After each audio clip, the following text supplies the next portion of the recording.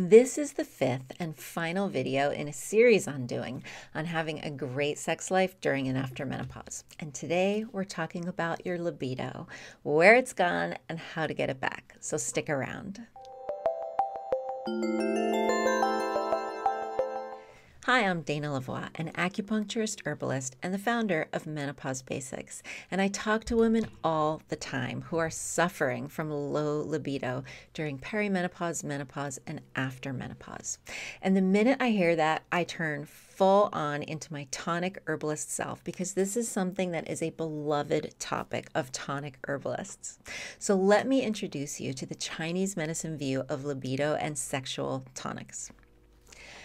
Big picture, your sexual energy is really important in Chinese medicine, but while it's not as important as breathing or digesting your food or a couple of other things like that. So, if you've been burning the candle at both ends and you're feeling depleted, run down, uninspired, and just kind of old and tired, your energy reserves are low. There's not enough energy for all the tasks your body wants to do every day. And one of the first things that doesn't get done is sending energy to your libido.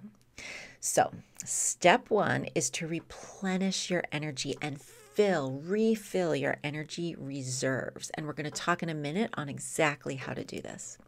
Step two is to pay attention specifically to your yin water and yang fire energy and to make sure they're both being replenished in the proper proportions because they're both needed for healthy sexuality. One is the yang fire energy is the spark and desire, and the other is the fluids and lubrication and strength of your orgasm. So you want them both. And as a bonus, uh, everything you do to replenish your yin and yang for your sexual energy will have overall anti aging effects. So, step one replenish your energy reserves. It's like you have an energy bucket that is empty and you need to refill that bucket. But if the bucket has a big hole in the bottom, anything you put into it leaks right out and you can never fill it up. So, the first step is to plug the holes in the bucket, to fix the places where your body is leaking energy. And it's a little bit easier said than done, and it can mean changing some chronic bad habits. But hey, getting your libido back is a good motivator. So, the most common energy leaks are stress. Now, stress is a fact of life, it's not going away. So it's just time to get real about stress management. Now, if you can, sure, reduce the stress in your life, but the biggest tonic herbalist secret here is using adaptogenic herbs to handle the stress better, to help you handle the stress better. Another common energy leak is inflammation or chronic infection. So, anytime your immune system is working when it should be resting.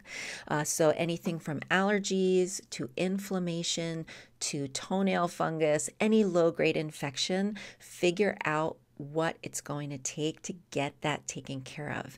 And again, adaptogenic herbs can help with this.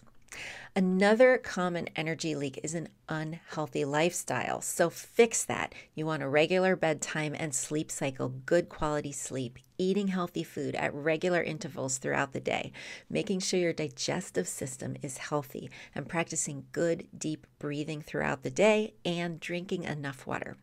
If you're not sleeping, it's going to be really hard to refill your energy bucket and have enough energy left over each day for your libido. So get help to figure out what it's going to take to get you to start sleeping well. All right, so that's step one plugging energy leaks. Now your bucket's in good shape. How do you refill the energy in the bucket? And can I just tell you that what we just talked about, like plugging those energy leaks, it's actually a really advanced topic. You know, the vast majority of people just go right to refilling the bucket and they don't think about the leaks. So, this is pretty high level stuff that I'm sharing with you guys.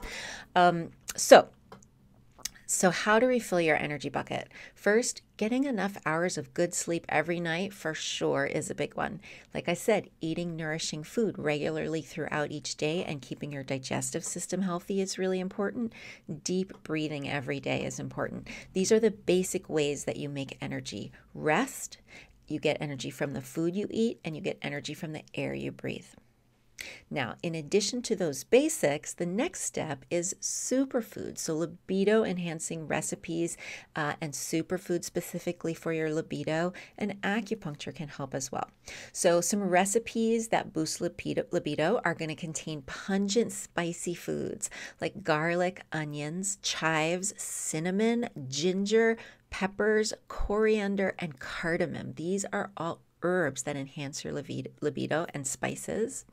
Um, arginine is rich in foods like eggs and meat, plus nuts and seeds, and it's very good for your libido. Uh, shellfish like oysters, clams, mussels, shrimp, and scallop, scallops are rich in zinc, also essential for making hormones. Walnuts, almonds, chestnuts, plus sesame and hemp seeds in particular strengthen the sexual energy. Uh, my favorite superfood is fresh ground flax seeds. It is so amazing. Uh, about two tablespoons a day is what I recommend. It contains a, it's a vast source of something called lignans, which is a, a phytoestrogen that can help protect women from heart disease, bone loss, and vaginal dryness, and helps maintain a healthy ratio of testosterone to its cousin DHT. So that helps with your libido. Oats can help to free up bound testosterone, raising your active testosterone levels, which can increase your libido.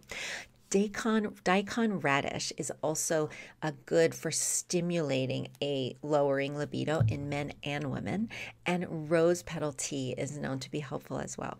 So, this is all stuff you can start doing at home right now. The right foods, the right superfoods, and the right lifestyle are going to absolutely set the foundation for increasing your libido. See how much that helps. But if you still need more, consider herbs because there is a whole like thousand year old tradition of herbs specifically for this. And here's how they work. These herbs are herbs specifically to restore those energy reserves, your deepest levels of energy. And they're what we call jing or essence or kidney tonics in Chinese herbalism. And if herbs were an easy one size fits all thing, I thing I would absolutely tell you right here and now which ones to use. But it doesn't quite work that way. And here's why. You can get herbs that strengthen your yin, cool, watery essence or your yang, warm, fiery essence. And you really want to have equal boths equal amounts of both. So some people might have plenty of yang, but not enough yin, and they want to take something that's like 80% yin tonics and just a little bit of yang tonics. But other people might have um, the opposite, and so they want to take 80% yang essence tonics and 20% yin essence tonics. People who have even amounts of both want to take something that's a 50 50 blend. And in addition, something that I see a lot is as you start quickly adding more energy to your system with herbs, it's important that your energy is circulating freely. Because if your energy is stuck somewhere, when you add a lot more energy to the system, you can get a big energy traffic jam at that place where your energy is stuck and it does not feel good. So, with herbs, what I always say is you want to build your energy and then move your energy, build your energy and move your energy in steps. Um, and eventually, you will get to this sort of like critical level where your energy is so strong it's going to move on its own. But until you get there, you need to take care of both. And a good herbalist will make sure to mix in herbs to your yin and yang tonics that help move your energy as your energy increases if this is an issue for you. Herbs are seriously powerful medicine, and you will get the best results by far using them when they're customized for you. So, considering having a couple of consults with a good tonic herbalist to get you started on a long term strengthening formula, and then check in with them every three months or so to fine tune your formula. So, bottom line, there are so many things you can do to majorly improve your libido naturally. Yay! um, and if you're ready to get started, you right now you can download a free copy of my Menopausal Woman's Roadmap that will walk you step by step through including the most important foods and superfoods in your diet every day to help you your to help your body build and balance hormones naturally before, during, and after menopause. It also comes with an invitation to my free private Facebook group and an invitation to a free hour long masterclass that I teach online. So I'm seriously ready to help you right now. Are you with me? To watch this whole video series with transcripts, downloads, extra notes, links, and more, be sure to check it out on my blog. My blog. The link is in the comments below. The first video, we cover what is vaginal dryness, where does it come from, what are the symptoms, and how to avoid doing the things that are naturally that are actively disrupting your natural lubrication.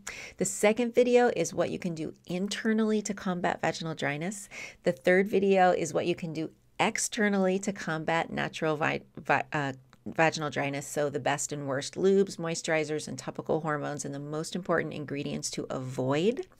The fourth video is with guest expert Jane Steckbeck, who is a certified sexologist and expert in menopause.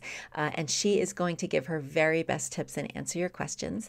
Uh, and then this video is on increasing libido. So we've got kind of like a complete coverage of the topic. And of course, I'm always here to help if you have questions. Uh, I'm Dana LaVoie, an acupuncturist herbalist and the founder of Menopause Basics. And thank you so much for joining me today and spending your valuable time with me. It means a huge amount to me, and I'm always checking the comments below. And please be sure once you grab your free roadmap to share this video with a friend. So I'll see you soon. Bye bye for now.